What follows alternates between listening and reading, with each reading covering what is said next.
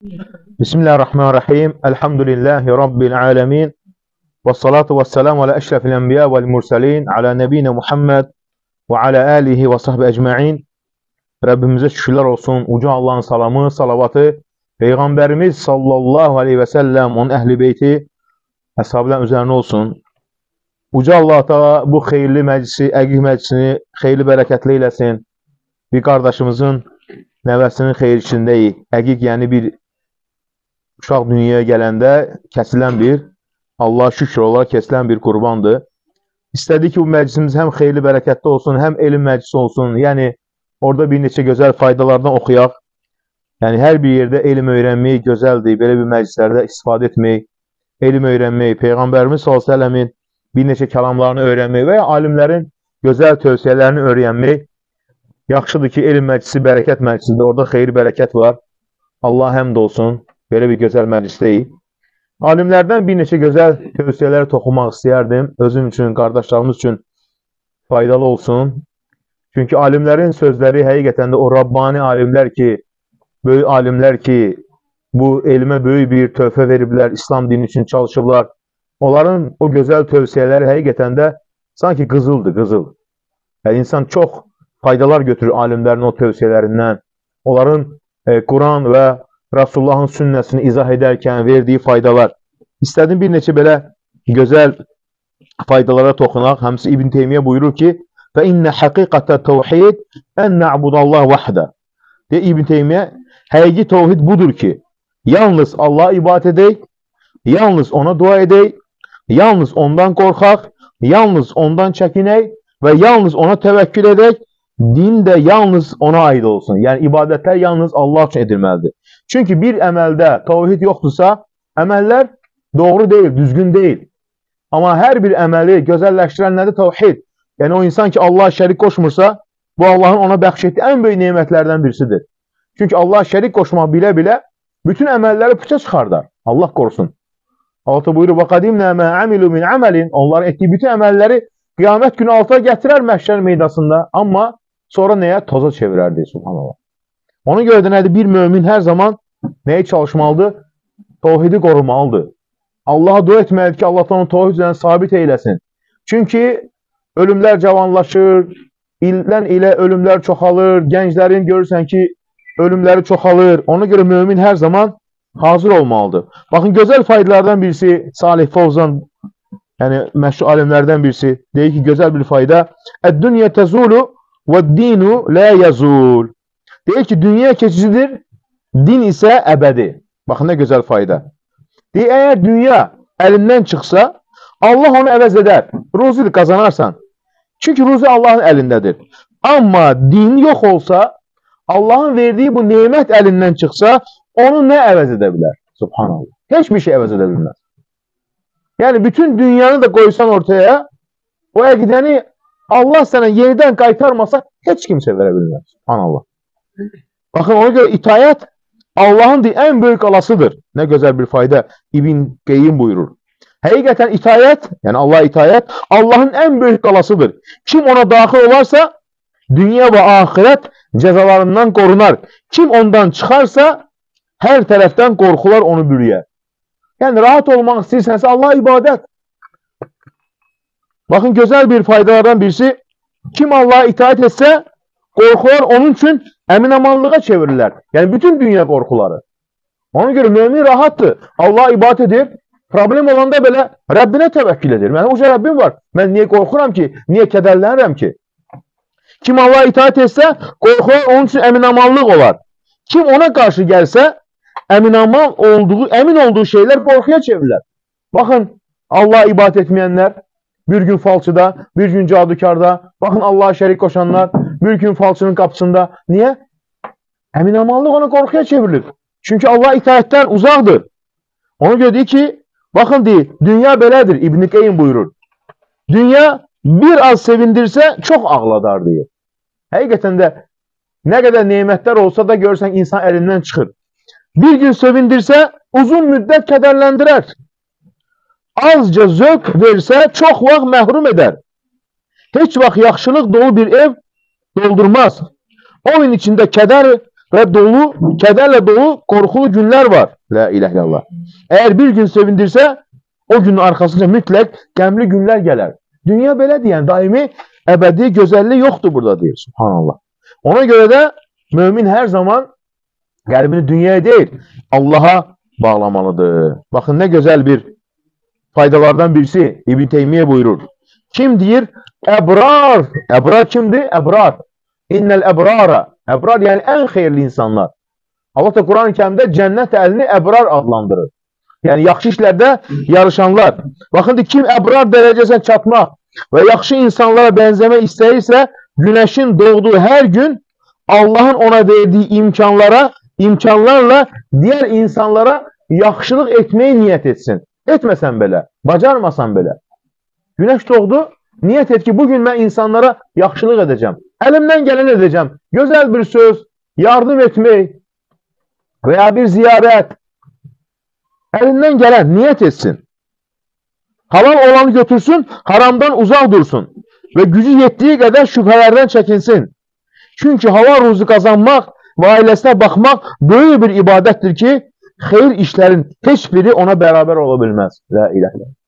Hər bir insan halal qazanırsa, ailəsini dolandırmaya çalışırsa, bu onun üçün deyir, ən uca dərəcədir.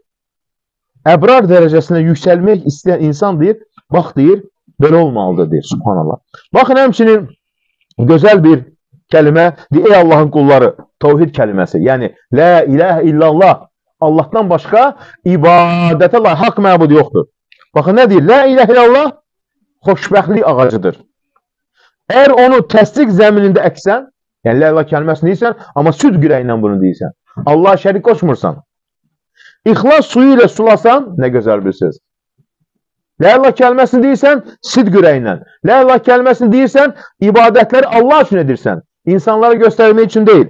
İxlas suyu ilə sulasan, salih əməllə qorusan, Allah kəlməsini deyirsən, amma salih əməllər artırırsan, onun kökləri möhkəmlənər, gövdəsi bərkiyər, yarpaqları yaşıllaşar, meyvələri yetişər və məhsulu çoxalar.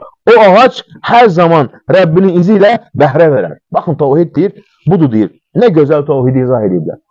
Yəni, tovhid kəlməsi, insan deyir, onu eləməlidir, qorumalıdır yəni tovhid kəlməsini, subhanallah. Həmçinin gözəl bir faydalardan birisi soruşurlar İbn Hüseymindən. Deyir ki, mömin psixoloji xəstə ola bilərmi? Şəriətdə bu xəstəliyin müalicəsi varmı? Müasir tibb isə yalnız müasir dərmanlarla müalicə edir. Yəni, o belə cavab verdi. Şübhəsiz ki, insan psixoloji xəstəliklərə, baxın, gələcək barədə narahatlıq və keçmişdəki itkilərə görə kədərə məruz qala bilər.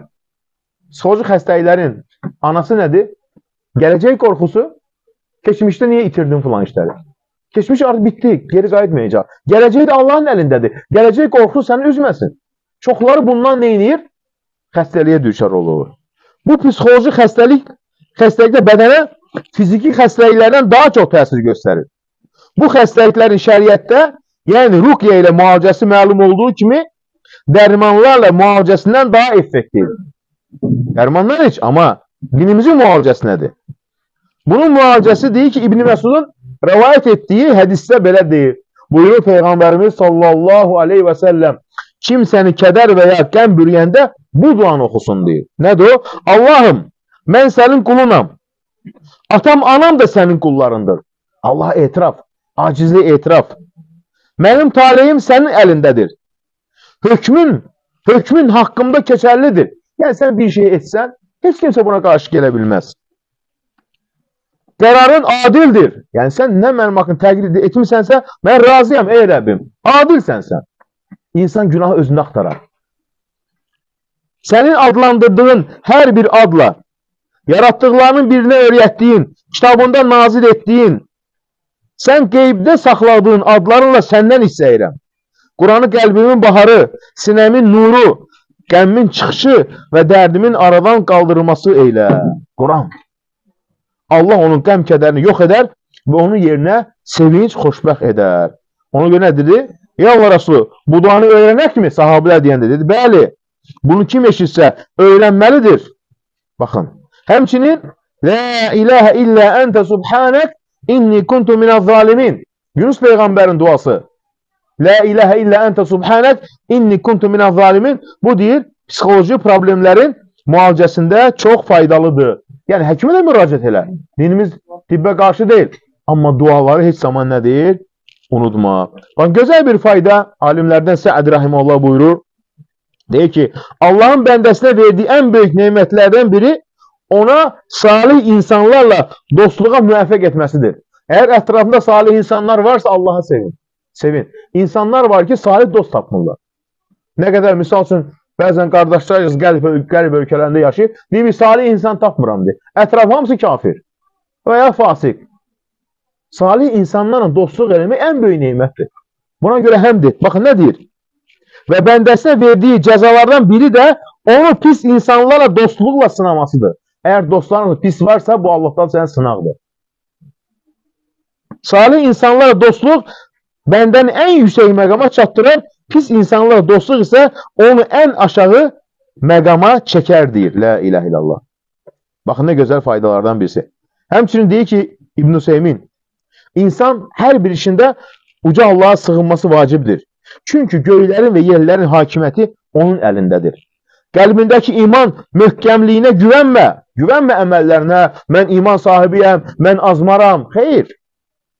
Və düşünmə ki, şeytan sənə təsir edə bilməz və nəfsinin pis arzuları sənə keçməz. Əksinə, hər zaman Allaha sığın və ondan sabit qədəm olmağı dilə. Güvənmə. Özünə güvənənlər əlbəttə ki, nədir? Haqq yolundan deyir, azacaqlar deyir. Subhanallah. Baxın, nədir sahillərdən birisi? İrVə anillə fi cəmi mə yəfəluhu bik. Allah Teala sənin haqqında təqdir etdiyi hər şeyə görə razı qal. Fə innəhu mə mənəəkə illə liyutək. Allah Teala sənə bir şey mani olubsa, deməli verəcək. Allah Teala səni imtihan edibsə, deməli sənə afiyyət də verəcək. Allah Teala səni xəsləndiribsə, deməli şəfa da verəcək. Ona görə nədir? Hər bir şeydə Allaha güvən. Yəni, hər bir işində razılığı özündən uzaq tutma, ayırma. Bir göz qırpımı belə. Yoxsa deyir, Allahın gözündən düşərsən. Çünki nəyə görə? Razı qalmayan sanki deyir ki, ey Rəbbim, niyə bu mənim başıma gəldi? Subhanallah. Ona görə də mümin hər zaman nədir? Rəbbindən razı qalar. Baxın, ən böyük neymət, gözəl faydalardan birisi, ən böyük lütüf və ən böyük bəxşiş, yəni Allahın hədiyyəsi nədir? Allaha iman etmək. La ilahe illallah onun tevhidini qəbul etmək və yalnız ona ibadət etmə nemətidir. Tevhid. Əgər sən bunlardansansa, ey qardaşım, ey bacım, sevin. Allah Teala səni 8 milyar içərisindən seçib. İnsanlar Allah şərik qoşurlar. Bütə səcdə eləyən var, qəbirdən kömək istəyən var, qəbri tavaf edən var, inəkdən istəyən var, Allahı inkar edən var. Auzu billah. Əgər sən bütün bu fitnələr içərisində doğru yoldasansa, Rəbbinə həmd eylə. Baxın, nə deyərdi alimlərdən Sufyan İbn Üyeynə? Allah rəhmət etsin. Allahın qullarına La ilahə illallah kəliməsini tanıtdırmaqdan daha böyük bir neymət verməmişdir. Allah Teala sənə bunu tanıtdırıbsa La ilah kəliməsini, ən böyük neymətini verir. Daha nə istəyirsən Allah Teala'dan? La ilahə illallah. La ilahə illallah cənnət əhli üçün dünyada soyuq suyun insanlar üçün olduğu kimi bir neymətdir. Kimin bu düzgün əqidəyə müvəffəq olmuşsa, Allaha həmd və şükür etsin deyir. La ilahe illallah. Sən düşün, yəni Allah Taala'nın ən böyük verdiyi nemətlərdən birisidir bu. Bəzən də bu nemətin qədrini bilirik, əlbəttə ki, bilmirik qədrini. Subhanallah. Yəni görürsən ki, çoxalır, küfr edən çoxalır. İnsanlar bəzən də Allah küfr etmək rahat bir şey kimi gəlir. Küfr edir, edir də. La ilahe illallah. Amma keçmişdə Bir kafir görəndə üzünə baxa bilməzdi. İmam Əhməd kafir üzünə baxma, baxa bilmir. Dini ürəyin bulanırdı. Necə Allah inkar edir? Sudanda olmuş hadisənin dili o zaman keçmişdə oranı bir istila eləmişdi. Yəni e, ingilislər almışdılar. Bir gün bir Sudanlı, baxın, adi bir insan Allaha bağlılıq. Çıxır küçədə gedir. Deyir ki, bu kimdir? Deyir ki, bu İngilis. Deyir ki, nədir ki, İngilis? Deyir, bu deyir, Allah inkar edir. Deyir, qaytardı, qursu deyir. Deyir, subhanallah, Allah inkar edir. Qəribə gəlir insana. Çünki nəyə qəlbində iman var. Bəzən bizə bu tohid neyməti yüngül bir şey kimi gəlir. Dəyərini bilmirik. Əksinə, ən böyük nədir? Neymətlərdən birisidir. Baxın, həmçinin gözəl bir fayda. Bu məsələdə insanların çoxu azırlar. Elə zənn edir ki, Allah Teala ona nemətlər bol veribsə, özü günahlarda davam edir, Allahın sevdiyi quludur. Tam tersi, bu insanların düşüncəsidir. Amma Allahın qoyduğu qayda, qanun başqa. Baxın nə deyir? Gözəl bir fayda. Allahın verdiyi hər şey bəndəsinə hörmət etdiyinə görə verdiyini, sevdiyini yəni. Mani olduğu hər bir şeyin isə onun bəndəsini dəyərsiz saydığı üçün olduğunu düşünmə. Yəni sənə bir şey verməyibsə istəyini, o demək deyil ki, Allah təala sənə dəyər verməyib və ya bol-bol veribsə, o demək deyil ki, Allah təala sevdiyindən verib. Əksinə, onun bir neməti verməsi də, mani olması da bir imtihan və sınaqdır ki, bəndlərini bununla sınağa çəkir. Altıra buyurur. İnsan ki, Rəbbin onu imtihana çəkər, ona kərəm və nemət bəxş edərsə deyər, Rəbbim mənə ikram etdi. Allah onu imtihana çəkər, ruzu payını daraldırar, daraldarsa deyər, Rəbbim mənə alçatdı. La ilahe illallah. İnsan düşüncəsinə bax. Yəni, hər kəsə verdiyim, nemət bəxş etdiyim və onu bəzi imkanlara sahib etdiyim şəxsə hörmət bəslədiyim mənasına gəlmir. Yəni, deyir ki, altı bu mənim sınağımdır. Görək şükr edəcəkmi? ona daha da artığını bəxş edib, yoxsa nankorluq edəcəkmi, bu neməti əlindən alıb başqasına verin. Həmçinin kimisə sınağa çəkib, rusini daraltsam və onun ehtiyaclarını ancaq qarşılayaraq qərar versəm, qədər versəm, bu mənim onu dəyərsiz saymağım demək deyil. Bu da mənim bir sınağımdır. Görək səbr edəcəkmi, ona geniş ruzidən daha çoxunu bəxş edim. Yoxsa narazılıq edəcəkmi ki, onun payını yalnız Onun payı yalnız narazılıq olsun. La ilahe illallah. Bax bu deyil, tərəzi olmalıdır insanlar üçün. Tərəzi. Tərəzi olmalıdır insanlar üçün. Yəni, nemətin çoxluğu da sevgi deyil, azlığı da dəyərsiz deyil. Ona görə bax, qəlbin nə deyir? Baxın, gözəl bir fayda, həmçinin İbn-i Qeym buyurur, rahiməhullah, deyir, davamlı zikr etməyin, yolda, evdə, şəhərdə, səfərdə, müxtəlif yerlərdə qiyamət günü bəndənin şahidlərinin çoxalmasını çoxalması deməkdir. Çünki yer, ev, dağ, torpaq qiyamət günü Allahı zikr edən şəxs üçün şahadət verəcək. La ilahe illallah. Allah hər yerdə zikr edən şəxs üçün çoxlu şahidlər olacaq. Bəlkə də onların çoxu qiyamət günü şahidlərin qəbulu zamanı qəbul ediləcək, şəhadətlərini bildirəcək və bu şəxs onların şəhadətinə görə sevinib xoşbəxt olacaq. Yəni yol gedirsən, boş vaxtın var, şahidləri çoxalt. La ilahe illallah. Hər şey şahid olacaq qiyamətdə. Baxın, gözəl bir fayda. Deyək ki, ən-nüfusu fələfə. İbn-i Qeym buyurur. İbn-i Qeym həqiqət tövsiyələri qızıldır, qızıl. Allah ona elə bir elm verib ki, tarix boyu oxunur, hər kəs istifadə edir, insan doymur onun tövsiyələrindən. Oxuyursan, həftə yenə də oxuyursan. La ilahe illallah. Rabbani alimlər belədir. Baxın, nədir? Ən-nüfusu fələfə. Nəfslər də üçdür, deyir. Rəbbinə arxain olan nəfs bu ən şərəfli, ən təbiz nəfsdir. Yəni, hər şeydə Allaha güvənir. Xeyirdə də, şərdə də, hər bir şeydə. Mübarizə aparan səbirli nəfs. Əvvəl kim deyil, amma mübarizə aparır. Üçüncü, şəhvət və nəfsin arzu istəkləri aldanmış nəfs. Bu bədbəxt nəfsdir ki, onun payı ağrı, əzab və Allah Taala'dan uzaq olmalıdır. Yəni nəfsini şəhvətlərlə, dünya ilə aldadıb deyir. La ilahe illallah. Baxın gözəl bir fayda Əl-Əvzai alimlərdən birisi, yəni e, Sünnənin Dərimidə rivayət edir, gözəl faydalardan birisi. Deyirdi, İblis öz dostlarına dedi, Adam oğullarına hansı şeylər vasitəsilə təsir edirsiniz? Onlar dedilər, hər cür şey vasitəsilə. İblis soruşdu, Bəs tövbə və bağışlama istəmələri vasitəsilə onlara təsir edə bilirsinizmi? Onlar cavab verdilər, əsla. Bu, tohidə bağlı bir şeydir. La ilah illallah. İblis dedi, onlarda Allahdan bağışlamaq, bağışlama istəməyəcəkləri bir şey yayacağam. Beləliklə onların arasına bidət və şəhvətləri yaydı ki, bağışlama diləməsinlər. Çünki bağışlama diləyəndə deyil, iblis insana yaxınlaşa bilmir. Yəni, əslafla zikri barəsində. Başqa hər şeylə nə edəyəm deyir? Yaxınlaş. Onlar elə şeylə məşğul edəcəm ki, nədir? Bağışlama deyir, diləməsinlər deyir. La ilahe illallah. Onun ki, insan nə edər? Dilindən düşürməz. Baxın, gözəl bir fayda həmçinin istiğfar, yəni alta bağışlama diləmək. İbn Hüseymin buyurur, rəhməhullah. Desən, əstağfurullah dedikdə Allahdan iki şey diləyirsən. Günahını örtməsi, hər kəsin günahları var. Allah təala səni bugün yəni, e, günahları üzə çıxarmayıbsa, biabır etmeyibsə bu Allahın lütfüdür. Amma insanlar var görsən ki Allah onların günahlarını biabır edir. Sosial şəbəkələrdə birisinin zinası yayılır, birisinin Allah nə elədi onu? İfşa elədi. Bizim də günahlarımız. Allah da bugün örtübsə onun lütfüdür. Estağfurullah deyəndə deyir, iki şey deyirsən. Günahların örtülməsi və ondan keçilməsi, bağışlanması. Allah səni bu günaha görə cəzalandırmasın. Baxın nədir Həsən Basri? Bəndə Rəbbindən utanmazmı ki, günahlarına görə tövbə edib bağışlanma istəyir, sonra yenə günah işlədi, yenə bağışlanma diləyir. O belə cavab verdi. Şeytan, şeytan sizdən bu vərdişi almaq istəyirdi. Ona görə də istiğfardan usanmayın. Yəni şeytan istəyir ki, tövbə elədin, yenə qayıtdın, tövbə, yenə qayıt. Allahdan utanmırsan. Niyə istiğfar eləmə? Şeytan hələ məhz istədiyi budur deyir. Nə qədər həyatdasansa yenə bağışlama deyir. Allah nə deyir? Bağışlayandır. Baxın nədir İbn Teymiyyə?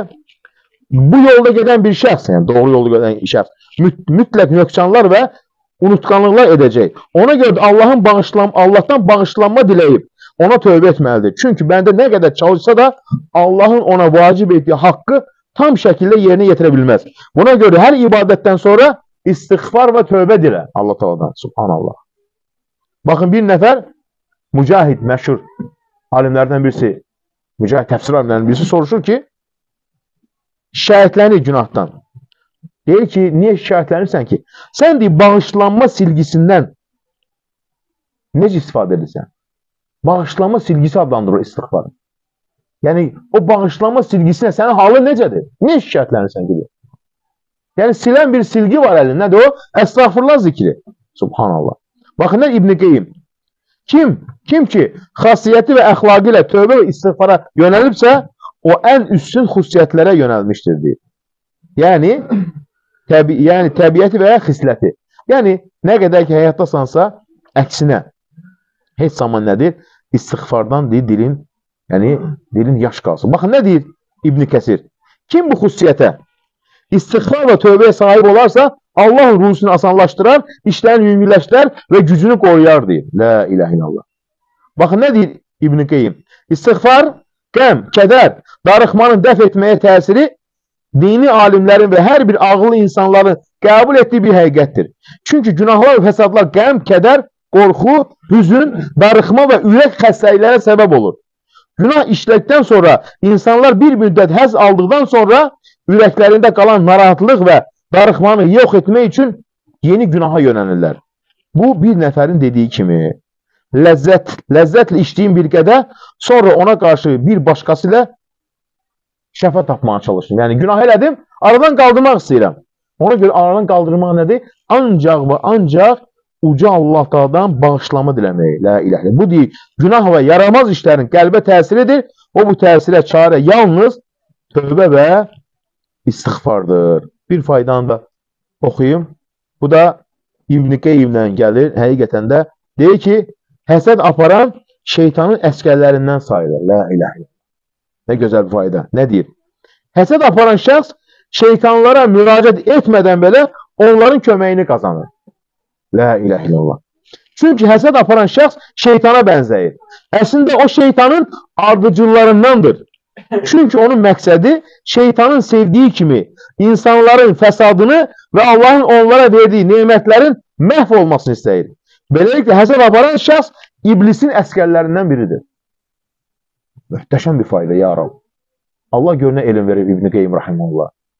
Yəni, dilindən hikmət tökülür. Həsəd edən insan deyir, iblisin nəyidir deyir? Əskərləridir deyir. Lə iləh Allah. Ona görə deyir ki, iblisin əskərləri onu izləyən və insanları azdırmağa çalışanlardır. Kim insanları azdırmağa və aralarında fitnə yaratmağa çalışarsa, o iblisin əskərlərindən biridir. Məlumdur ki, iblisin əskərləri Rəhmanın əskərlərinin əksidir. Rəhmanın əskərləri xeyrə çağırır, yaxşı işlər görməyi əmr edir və pis işlərdən çəkindirir. Amma iblisin əskərləri isə şərə çağırır, pis işləri təbliğ edir və yaxşı işlərdən deyir, çəkindirir. Yəni bu İbn Feyminin gözəl nəyidir? Sözlərindən birisi. La ilahe illallah. Həqiqətən də yəni insan belə faydalardan deyir, ibrət almalıdır. Bir fayda da deyir ki, soruşurlar ki, qəlbimi deyir, şirk olan riyadan necə təmizdir? Riyakarlı nə deməkdir? İnsan qəlbində hər hər insanda var bu. Amma deyir, Ağıllı insan neyin onu dəf edər, uzaqlaşdırar. Yəni riya insanlara göstərmək, əməlini eşitdirmək. Soruşurlar İbn Hüseymindən ki, deyir ki, necə qəlbimi deyir, paklayım. Yəni qəlbimə, nəfsimə nə deyim? La ilahe illallah. Bax deyir, gözəl faydaya baxın. İnsanlar əgər Allahın əmrinə qarşı çıxsam, mənə heç bir fayda verə bilməzlər və cəzadan xilas edə bilməzlər. Əgər Allaha itaət etsəm, mənə mükafat gətirən onlar deyil. Mükafatı verən və cəzanı götürən kimdir? Allah Allah. La ilah. Eğer bu belədirsə o zaman niye Allah şərik qoşursan? Niye ibadətini yarattıqlarına yaxın olmaq üçün edirsən? Yəni səni sevsinlər deyə. La ilahe illallah. Bu səbəbdən Allahın yaxınlaşmasını istədiyimiz şeylər insanlara yaxınlaşmaq üçün istifadə edənlər onlardan uzaqlaşar, insanlar onlardan uzaqlaşar. Yəni Allah razını qazanmaq üçün insanlara yaxınlaşmaq onlara yalnız Allahdan və insanlardan uzaqlaşdırar. Çünki Allah səndən razı olsa, insanlar səndən razı edər. Əgər Allah səndən narazı olsa, insanları da sənə qarşı narazı salar. Allahın qəzəbindən və cəzasından ona sığınırıq. Gözəl bir fayda. Yəni, riyakardan qorunmaq üçün nədir? Mən yaxşı əməl etdim. Mükafatı insan verir, yox. Pis əməl etdim. Cəzasını verir, yox. O zaman Allah üçün edir. Nə gözəl qayda. Qızıl bir qayda. Yəni, sən bu etdiyin əməldən onsuz da ki, insanlar sənə heç bir şey edə bilmirlər. La ilahe illallah. İnsanlar ne inebilirler? Hiçbir şey. O zaman deyirəm, əvvəlcədən deyirəm ki, ey Rəbbim, bu əməlləri mən sənin üçün edirəm. Bu hamısı nədir? Gözəl bir tövsiyələr. Həqiqətən də deyir ki, tovhid də cənnətin açarıdır. Baxın. Bu, bu faydanı kim buyurur? İbn-i Qeym. Şirk Allah dərgahında ən böyük günahlardan biri olduğundan Allah onun sahibinə cənnəti haram etmişdir. Cennete yalnız tevhid ehli dahil olacak. Çünkü tevhid onun açarıdır. Eğer kimse de açar yoktursa kafan açılmayacak. Hemçinin eğer dişsiz bir açarla gelirse onunla kapını açmak mümkün olmayacak. Tevhid budur diyor. La ilahe illallah. Yani en güzel tevhidi vesfeledi burada. Rahimahullah. La ilahe illallah. Yani ona göre de insan Qəlbini Allaha bağlamalıdır. Yəni Allahdan başqa sənə nə, zər nə zərər verə bilərlər, nə də ki, fayda verə bilərlər. Son İbn Həcərin tövsiyəsi bu bizim üçün qulağımızdan bir sırğı olmalıdır. Baxın nə deyir? Qədər üstün gəlir. Yəni Allahın təqdiri olacaq. Aqibət isə gizlidir. Qeybdir. Yəni sonumuz necə olacaq? La ilahe illallah. Allahın qədəri amma son mənim üçün nədir? Necə olacaq bilmirəm. Hamımız üçün bilmirik. Bu səbəbdən kimsə zahirin, kiminsə zahir halinlə aldanmamalıdır. Kimsə öz zahiri halinə aldanmasın. Mən salih insanım. Bu səbəblə dində sabit qədəm olmaq və gözəl sonluq üçün hər zaman dua etməyi buyurulur. Yəni öz salihinlə, əməllərinlə özünə güvənmə, aldanma, öz nəfsini bəyənənlərdən olma. Çünki nədir? Sonluq gizlidir, qeyblədir. Hər zaman nədir? Allah Taala'dan sabitlik istədi. Subhanallah. Nə gözəl dəyər. Allah da bizləri eşli faydalandığı qullarından eyləsin. Allah Taala bu gözəl balamızı salih qullarından eyləsin. Valideynlərini sevindirsin. Yaxınlarını sevindirsin. Gözlərinin nuru olsun. Öz ailəsi üçün, xalqımız üçün gözəl, tərbiyəli evladlardan olsun. Allah salih qullarından eyləsin. Allah Taala bütün müsəlmanların balalarını islah eyləsin. Allah Taala dünyasını dəyişən valideynlərimizin məkanını cənnət eyləsin. Həyatda olanların ömrünü uzun, xeyirli, bərəkət, hidayətli eyləsin. Allah Taala bu gözəl vətənimizi qorusun. Həmin amanlığımız, müstəqimiz daimi olsun. Allah Taala düşmənlərimizi məhv eyləsin. Ölkəmizə qarşı düşmənçi edənləri öz hilələrində həlak eyləsin. Allah Taala öz əzəmətli gücünü, qüdrətini düşmənlərimiz, havadarları üzərində bizə göstərsin. Allah da ordumuzu qorusun, əskərlərimizi qorusun, sağ-salamat ailələrini qovuştursun, balalarımızı. Vətənimizi qoruyurlar, soyuq, isti bilmədən. Allah da şəhidlərimizə qəni-qəni rəhmət eyləsin. Allah da ölkə rəhbərimizi qorusun, işlərini müvəffəq eyləsin. Allah da bizlərə gözəl sonluq nəsib eyləsin. Gözəl sonluqla bu dünyadan köçməyi nəsib eyləsin. Allah da elm məclisinin sonunda günahlarımızı bağışladığı qulların sıralarına daxil eləsin. Çünki Allah da elm məclisində qulların günahlarını bağışlayar. Allahın ən sevdiyi məclis nədir? Elm məclisi. Həmçin mələklərin sevdiyi məclis elm məclisi. Mələklər elm məclisini ta 7-ci səmaya qədər dövrəyə alarlar və orada iştirak edənlər üçün Allah bağışlama diləyərlər. Hətta Allah öz dərgahındakı yanında xatırlayar. Öz dərgahında kimdir? Yaxın mələklər yanında xatırlayar o qulları. Ona görə nədir? Bu ən böyük şərəflərdən birisidir. Allah həmd olsun ki, Allah təala bizləri bu gözəl yerdə, gözəl məkanda qardaşımızın evində toplayıb. Allah təala belə məclislərimizin, elm məclisinin sayını çox eləsin. Allah təala bizlərə gözəl sonluq nəsib eləsin. Bizləri gözəl sonluqla bu dünya köçümü nəsib eləsin. Peyğəmbərimiz sallallahu əleyhi və səlləmin mübarək əllərindən Kövsər hovuzunun suyunu içməyi nəsib eləsin. Çünki elm məclisi məclisin nübuvvə deyirlər. Peyğəmbər məclisi deyirlər. Çünki peyğəmbərin məclisində ancaq elm olardı, söhbət olardı. Dünya söhbətləri olmazdı, boş-boş söhbətlər olmazdı. Nəsə bir şey öyrədərdi, gəliblər elm öyrənərdi. Ona görə də elm məclisi nədir? Peyğəmbər məclisi deyirlər. Bu böyük bir nədir? Şərəfdir. Allah da bizlərə nəsib edib, Rəbbimizə həmd olsun. Bu sırf Allahın rəhmətidir. Bizim çalışmağımız, səbəbə sarılmağımız, Allah hamısı səbəbdir. Amma sırf Allahın rəhmətidir ki, bizlərə belə bir gözəl məclis nəsib edib. Rəbbimizə həmd olsun. Allah hamımızdan razı olsun. Amin.